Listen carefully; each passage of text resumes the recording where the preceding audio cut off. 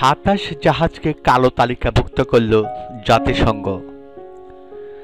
জাতিসংঘের নিরাপত্তা পরিষদ, সাতাশটি জাহাজ, একুশটি জাহাজ কোম্পানি ও এক ব্যক্তিকে কালো তালিকাভুক্ত করেছে।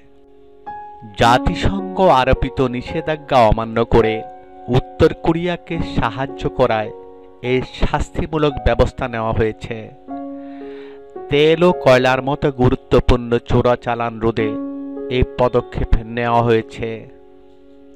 গত মাসে উত্তর কোরিয়ার চোরাচালান রোধে এ ধরনের পদক্ষেপ নিতে জাতিসংঘে প্রস্তাব দিয়েছিল যুক্তরাষ্ট্র। জাতিসংঘের এই পদক্ষেপের ফলে তেলবাহী ট্যাঙ্কার ও কার্গো জাহাজগুলো বিশ্বের সব বন্দরে নিষেধাজ্ঞার মুখে পড়বে। প্রতিষ্ঠানগুলোর সম্পদ জব্দ থাকবে। ফিয়ংইয়ংয়ের বিরুদ্ধে জাতিসংঘের নেওয়া সবচাইতে বড় শাস্তিমূলক ব্যবস্থা এটি।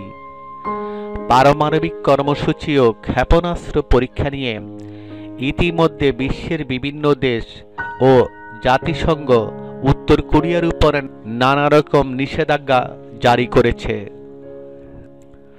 জাতিসংঘে নিযুক্ত মার্কিন স্থায়ী প্রতিনিধি নিক্কি হ্যালি বলেন, আন্তর্জাতিক সম্প্রদায় যে একত্র, সাম্প্রতিক এ পদক্ষেপ তার স্পষ্ট প্রমাণ।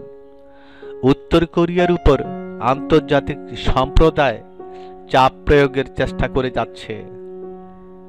দুই হাজার ছয় সাল থেকেই তেল আমদানি ও বিভিন্ন পণ্য রপ্তানি সহ বিভিন্ন ধরনের আন্তর্জাতিক নিষেধাজ্ঞার মুখোমুখি হতে হচ্ছে উত্তর কোরিয়াকে। কূটনীতিবিদেরা মনে করেন, উত্তর কোরিয়ার নেতা কিম জং উনের পরমাণু ও ক্ষেপণাস্ত্র পরীক্ষা বন্ধ করতে অব্যাহত এই চাপ গুরুত্বপূর্ণ।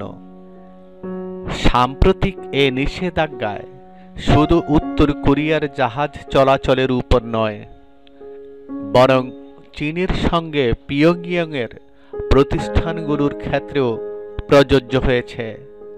যেসব প্রতিষ্ঠান নিষেধাজ্ঞার আয়তায় এসেছে, এর ষোলোটি উত্তর কোরিয়া ভিত্তিক, পাঁচটি হংকংয়ে নিবন্ধিত, দুটি চীনের, দুটি তাইওয়ানের, একটি পানামা ও একটি সিঙ্গাপুরের।